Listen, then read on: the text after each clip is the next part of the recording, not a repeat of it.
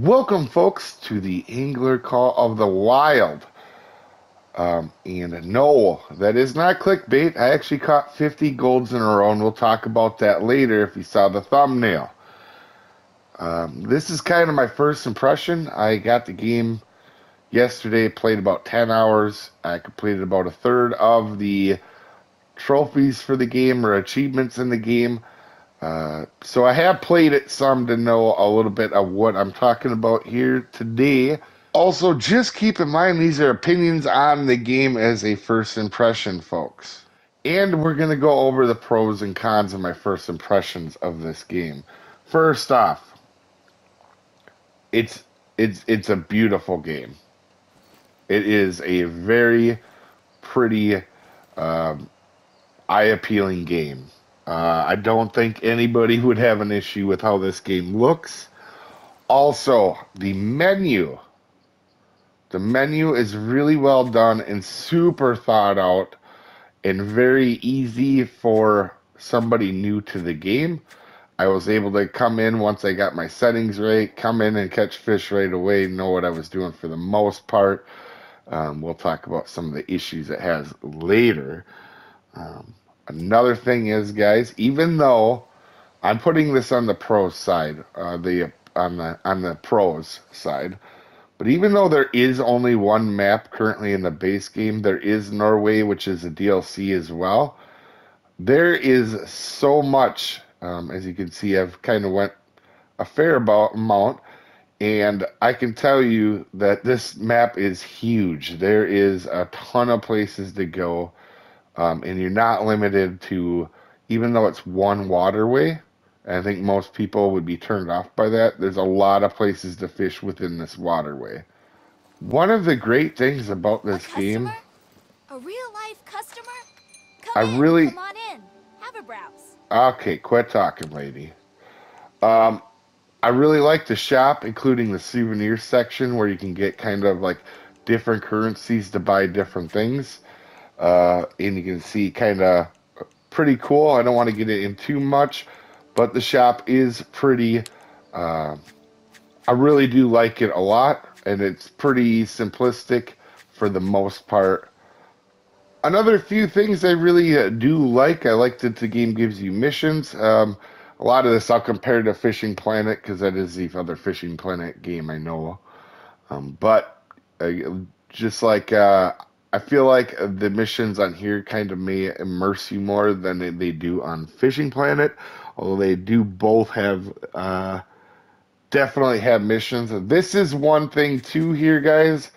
I really like uh, is the daily challenges, and this is something that uh, I, can't believe Fishing Planet doesn't do. But daily challenges right here, uh, I really do like that, and weekly challenges.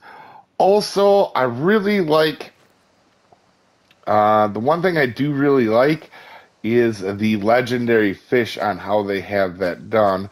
If we go to our handbook here, uh, you can see uh, there's fish and they just randomly are active or not active to my knowledge right now, which is really cool.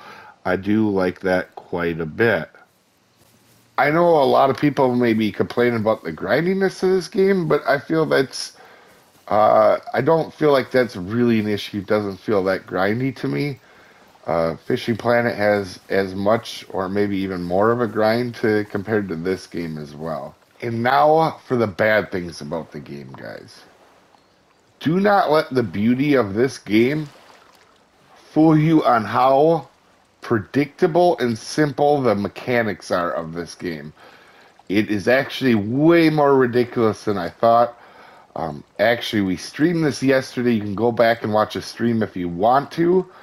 Um, early on, it wasn't so bad. It wasn't until later uh, that some of these things really came to show themselves. Uh, a couple things, guys.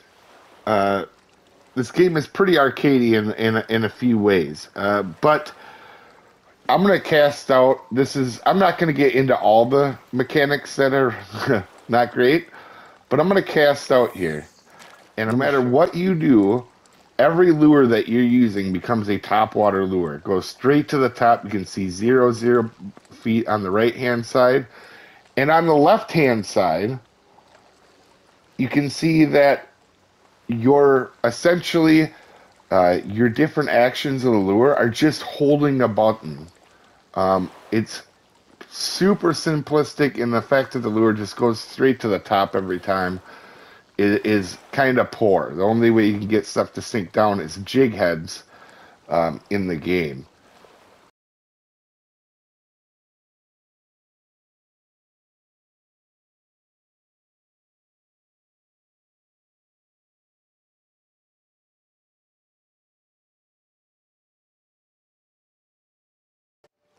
I will try to insert some clips into here to show what I'm talking about, but the mechanics at times can be super predictable and oversimplified, guys. There's a mechanic that at definitely at first glance seems like if the fish is too big, it's just either gonna spool you or reel you out. Um, and it's super predictable. I'll add clips here where you can see I was calling when the line was going to break right before it was going to break. Uh, it, it is really not a good mechanic. Oh, this would suck if I lose it when it gets close. What? Ah.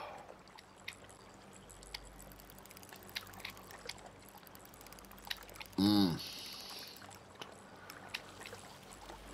I swear to God, if this one snaps me off close again.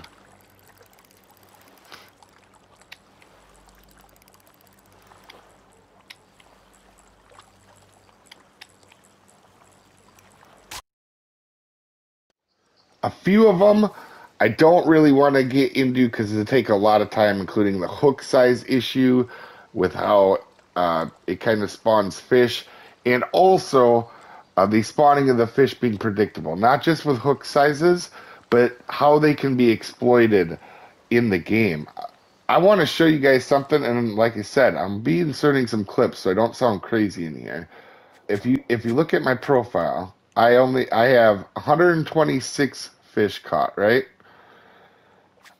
If you look on the top of my screen there, you can see I've got 59 golds. And I was able to, without even trying to, uh, just trying to assume how the mechanics worked in the game, I was able to catch 50 gold saugers in a row. And and it's not because oh I waited and just waited around for a gold. You can see the catch times here, guys, right after each other. Uh, 1733, so on. I'll add some more of these so you can see that I did in fact catch them the way I was saying.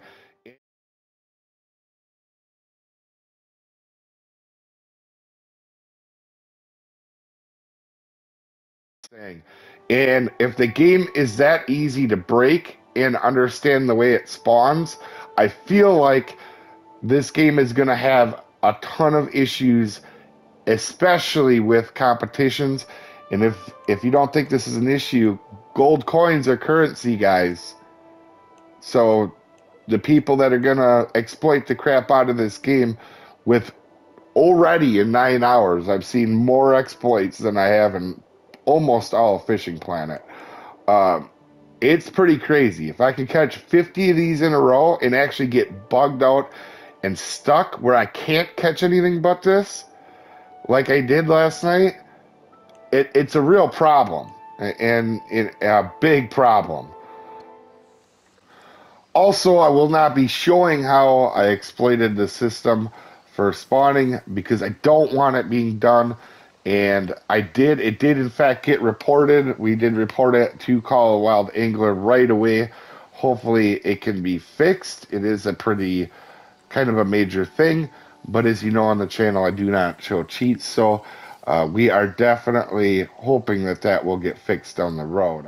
Another thing that I thought was going to be a positive and it ended up being a terrible negative uh, was the way the fish fight in this game. I thought, man, this is going to be really cool. It looks like they fight pretty good. And the fight is super predictable and it's about the same every time. You you have three ways the fish is going to fight you.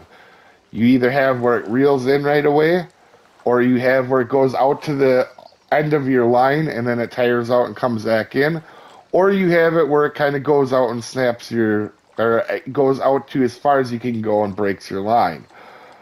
And they all feel exactly the same. It, it seems like it's the same thing every time. I know that sounds crazy, but it does. It feels completely repetitious. Also, that little blue flash you just saw during that last recording was not the recording. That was actually the game. There's a lot of visual bugs. I mean, there's a lot of bugs in this game in general, and some of them are going bound to happen because the game is new. But man, is there a lot of bugs in the game right now. Another bad part of the game is the multiplayer aspect. Sure, there's multiplayer rooms, but it that's it.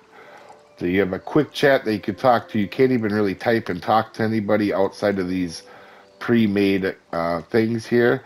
And there's no multiplayer function really in the game. There's no competitions. Sure, you can have somebody stand on your boat, but that's about it.